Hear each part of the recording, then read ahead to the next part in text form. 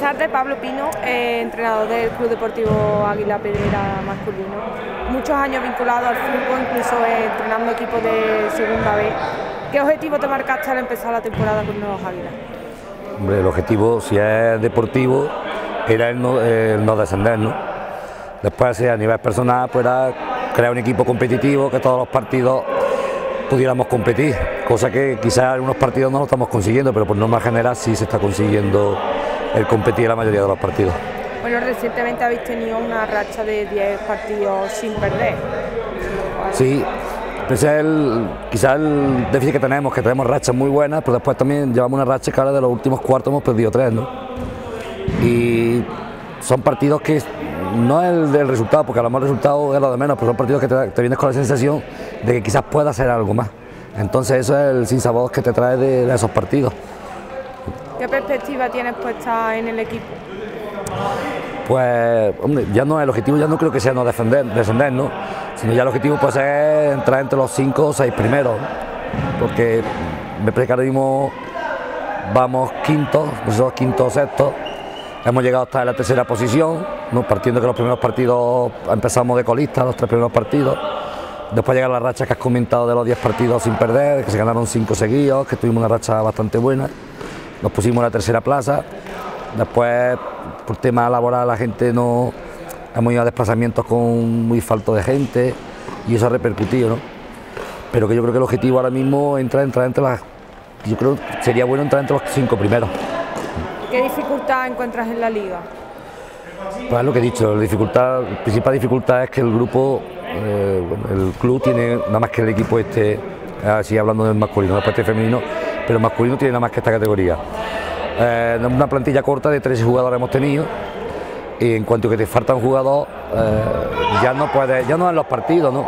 sino en entrenamiento, si te faltan dos jugadores por trabajo, que en esta categoría es muy habitual que pase, alguna lesión o alguna enfermedad, tú ya esa semana no puedes entrenar bien. Y eso se va notando en los partidos a veces. Ahora recientemente habéis la pérdida de jugador Andrés.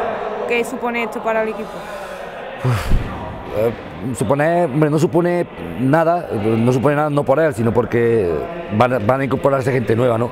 Entonces cambia piezas. Es un jugador, Andrés, hablando de personalmente, un jugador que yo no sé, él no me ha entendido a mí, yo tampoco he llegado a entenderlo a él, ¿no? Porque yo creo que ha dado poco para lo que yo lo he visto afuera y podía haber sacado quizás algo más de él. Y hemos visto la aportación de jugadores con experiencia como Raúl o Falete. Sí, son jugadores, vaya, aparte de tener experiencia de, de, edad, muchos años en el fútbol sala, son jugadores que yo lo he tenido jugando antes, ¿no? También podemos tener a Crespo, Crespo lo he tenido desde, desde infantil hasta senior se puede capacitar conmigo, entonces entiende, no es que entienda el fútbol sala mejor que los demás, me entiende a mí mejor que los demás. Y eso, entender a un entrenador, entender lo que quiere un entrenador algo siempre es un plus para el jugador y para el entrenador tener jugadores que sin decirle nada saben lo que quiere, eso es mucho. Entonces los jugadores pues, son fundamentales en el equipo. ¿Esperaba la temporada que está realizando el portero llegando a pesar, a pesar de su corta edad y experiencia? Habla de Márquez, ¿no? Sí. La verdad que yo cuando empezaron los primeros entrenamientos tenía mis, dudas. Eh, el primer partido no jugó, el segundo partido mi idea era que no jugara, al ser el resultado en el descanso con Esi, que allá muy dispar, digo, mira, lo pongo tan formo, tarde o temprano tienes que darle la oportunidad, no puedes tenerlo sin jugar. Y ha tenido una racha muy buena, de verdad que me ha sorprendido muy gratamente. Después ha tenido altibado, ahora pasa por un altibado también ha estado más, más flow, pero quizás sea la, eh, la mayor alegría que he tenido aquí. Mm, en pensamiento quizás sea de los más maduros que hay en el equipo. ¿Qué aporta al equipo la presencia de Jairo, tu ayudante? Pues parece que no, pero da mucha alegría. Eh, muchas veces a raíz de se une todo el grupo, en el tono de la broma, en el tono de y parece que no, pero es muy importante tanto a él como también hablamos de delegado que no puede venir al entrenamiento porque está fuera de Manuel y son personas que dan mucho al grupo por la capacidad que tienen de aguantar la broma del grupo, por la capacidad que tienen de unirlo en ese, en ese aspecto y dan mucho en ese aspecto. ¿Qué te parece la apuesta del club por, los equipos femeninos?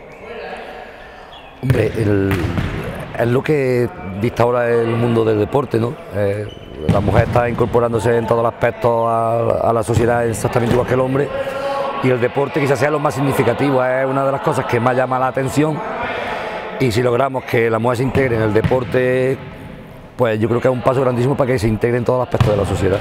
Luego la apuesta del club pues, es algo fundamental y yo creo que es necesario y casi se tendría que hacer obligatorio. ¿Cómo ves la aportación de la directiva? ¿Crees que es fundamental para que el equipo crezca? Hombre, mm, la cosa está muy clara en ese aspecto.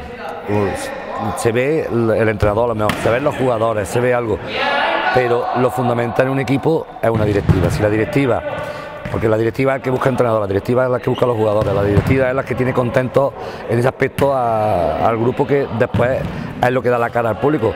Luego la directiva es fundamental, no en este club, sino en todos los clubes. Una victoria importante y con dificultad por la experiencia de los jugadores contrarios, es con dos hermanas. ¿Cómo lo valora?